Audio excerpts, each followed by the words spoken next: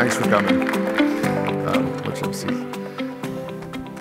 So tell us about SoundHound. Tell us about your business. Tell us about what you're solving for as a company. Yeah, so SoundHound is a, a voice AI, the only independent voice AI company that's helping businesses across multiple industries uh, integrate their conversational AI into their products and services. Uh, we were founded in 2005. Our founders, you know, founded actually in Stanford in the, in the dorm room.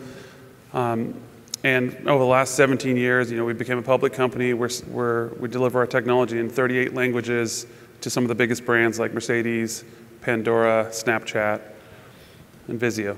What's your experience been like on the cloud overall? Like, how, how has the company evolved, and, and what have you done in terms of taking advantage of cloud infrastructure?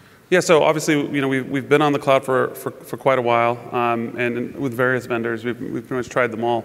And I think they all have their, their own limitations, whether it's, you know, kind of some rigidity around the architecture, some complexity around um, setup, and I think some of the, the more notable challenges are around performance. When you get to scale, you find some underlying um, challenges within that.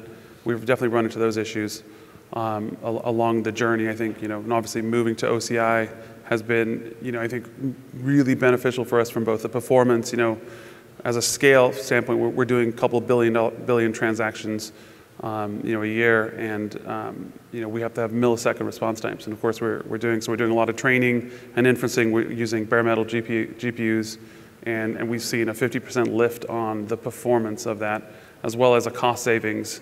And for us, the cost savings you know, and the performance lift is, is really important for us because we're hitting that hyper growth. And so as we grow, we don't want our cost to exponentially grow, and we need our, our system's performance to stay at this millisecond level.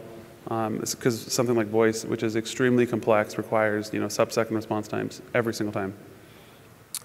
And you know, if you if you were to say uh, what's the best aspect of the transition you, you've had or the experience you've had with OCI overall, how would you frame that? What would what would your yeah? I, I mean, I, I think so, you know one of the most people would be surprised. Like I think as a partner, Oracle's been fantastic to work with. Like the people at Oracle have been tremendous. I think the technology, you know, you guys, security first is built in, and security is really important to us. You know, our voice data is PII um, our IP is extremely, you know, we put $400 million into building our, our IP. So the security, the scalability has been phenomenal in terms of the resilience and, and performance.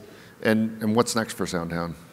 Uh, we got big ambitions. Like, like I said, we're, we're at that knee of the curve. mm-hmm. We're, we're growing into multiple industries. We're doing a lot of work in the restaurant space. And actually, you know, I think this is one of the, talk about partnering with Oracle. Oracle has a big uh, food and beverage industry, which, you know, we've been introduced to through our account manager. and We've, we've met a number of folks internally at Oracle and introduced even some of their clients, or your clients, I should say. And uh, you know, we're, we're continuing to grow. We went public this year, and so we've got a, a bright journey ahead of us. Uh, a lot of work to do. Thank you. uh, tough market to do it in, but you know, we're, we're at that, that juncture, and uh, we're, we're really excited about the future. Okay. Well, thank you very much. Thanks for having us.